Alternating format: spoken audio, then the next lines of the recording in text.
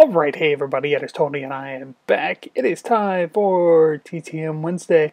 Got two returns. It has been really slow since the first of the year, and not because of U- USPS, it's because of me.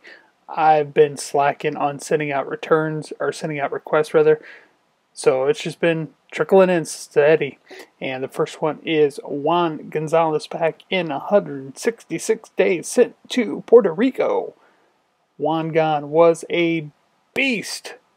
One of those guys that you love to watch. Watch him hit the long ball. Signed at 16 by the Rangers out of Puerto Rico. Made his major league debut at 19. His first full year in the majors was 1991. Three time All Star. Great ball player.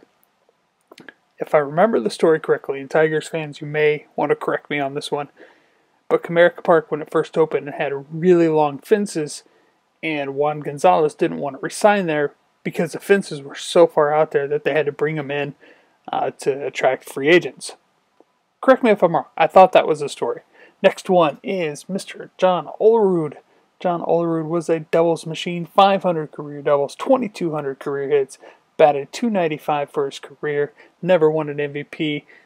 So that's why voters are saying no on the Hall of Fame and no on the Hall of Fame to Juan Gone. I don't know. I, I, mean, that's I guess it's up to debate. Juan Gone and John Olerud both had stupendous numbers. Um, also, on a side note, John Olerud, I donated fifteen dollars to the Jordan Fund, his charity. It's a, it's a voluntarily it's a volunteer donation if you want to. Uh, he doesn't require a donation, but I decided to send $15 and three cards. He signed all three cards for me. There's your hint. so, that's what I have for today. Thanks for watching, everybody. Bye bye.